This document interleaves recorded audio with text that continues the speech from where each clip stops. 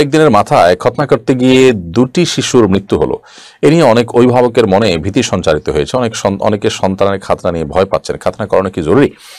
দেখুন, খাতনা এটা সকল নবীদের সুন্না এবং সুন্নাতুল মিন সুনানুল ফিতরা বা প্রকৃতিগত সুন্না সমূহ একটি গুরুত্বপূর্ণ একটি আমল। বিধায় এটি করা দরকার, কিন্তু এটা নিয়ে যে আপনার আতঙ্কিত হওয়ার মতো পরিবেশ তৈরি হয়েছে, সেটা প্রমাণ করছে যে আমরা কতটা অব্যবস্থাপনার মধ্য দিয়ে আমাদের জীবন যাপন করে যাচ্ছে। আমাদের সমাজটা কোন জায়গায় চলে গেছে এবং অব্যবস্থানা স্বাস্থ্য খাতে কোন পর্যায়ে পৌঁছেছে, এখান থেকে সেটা পরিষ্কারভাবে বোঝা যায়। যে অ্যানেস্থেসিয়ার ব্যবহার যেখানে সেখানে হচ্ছে অননুমোদিত জায়গা হচ্ছে, এখন আইন করে বলতে হচ্ছে যে অন- অনুমোদিত জায়গার বাইরে অ্যানেস্থেসিয়া দেওয়া যাবে না।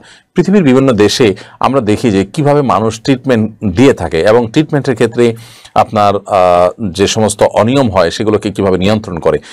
শুধু মেডিসিনের কথা যদি আমরা বলি, সারা পৃথিবীতে মেডিসিন চাইলে কেউ কিনতে পারে না। কারণ মেডিসিন মানুষের খেয়াল খুশি মতো যদি মানুষ নিতে থাকে, মানুষ দুরারোগ্য ব্যাধিতে ভুগতে থাকে, আমার দেশে ক্যান্সার বলুন, আপনি ডায়াবেটিস বলুন, আপনার হার্টের সমস্যা বলুন কিডনির সমস্যা বলুন, এত ভয়ঙ্কর পর্যায়ে পৌঁছে গেছে যে এগুলো নিয়ে আসলে আমাদের রীতিমতো আপনার কপালে ভাঁজ পড়ার কথা।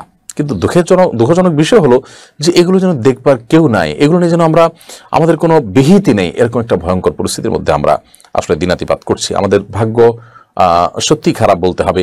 আল্লাহ রবুল আলমিন আমাদেরকে কঠিন পরীক্ষার মধ্যে ফেলেছেন যে আমরা একটা ভয়ঙ্কর অব্যবস্থাপন্ন সমাজের মধ্যে আছে। আমাদের কর্তা ব্যক্তিদের, আমি জানি না তাদের লজ্জা হয় কিনা, তাদের অনুশোচনা হয় কিনা, তাদের মধ্যে কোনো প্রকার কোনো রকম তাদের মধ্যে আপনার গিলটি ফিল হয় কিনা যে তারা আমাদের এই দেশটাকে ভয়ঙ্কর একটা জায়গা নিয়ে গেছেন, যে এখানে অব্যবস্থাপনা চরম পর্যায়ে সব জায়গায়।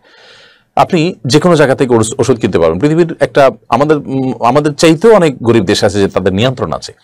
আপনি যেখানে সেখানে ওষুধ কিনতে পাবেন না, যেখানে সেখানে অ্যানেস্থেসিয়া দেওয়া যাবে না, যেখানে সেখানে যা তা করা যাবে না, একটা নিয়ম শৃঙ্খলার মধ্যে থাকে। খাতনার ব্যাপারে ভীতিকর পরিস্থিতি তৈরি করার জন্য সংঘবদ্ধ কোনো চক্র, ষড়যন্ত্র করে এগুলো করছে কিনা আমার মনে হয় সেটি খতিয়ে দেখার যথেষ্ট সুযোগ আছে।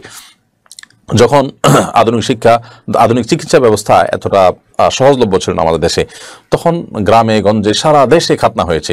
খাতনার কারণে কোনো শিশুর মৃত্যুর খবর আমরা কেউ কিন্তু কোনো দিনই শুনিনি।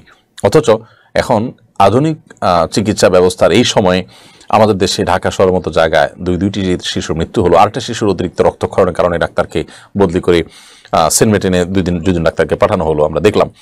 তো পরপর তিনটি ঘটনা আমরা বলতে পারি যে এই ধরনের ঘটেছে। আমার মনে হয় যে এটা নিয়ে এটা নিয়ে কাজ করা দরকার।